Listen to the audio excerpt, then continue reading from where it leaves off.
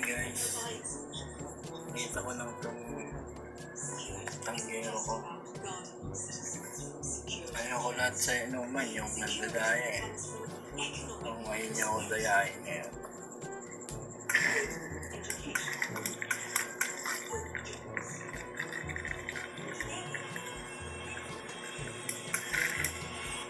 Oh, ko na to.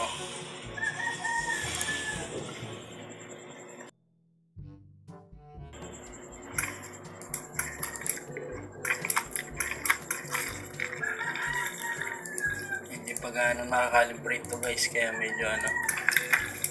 Ayan. Hindi ko pa nakalibrate ng maayos. So, shot mo na, kosa. Tinay ko lang muna. Hindi siya nakakalibrate to. Shot ko na to. Pantay yan ha.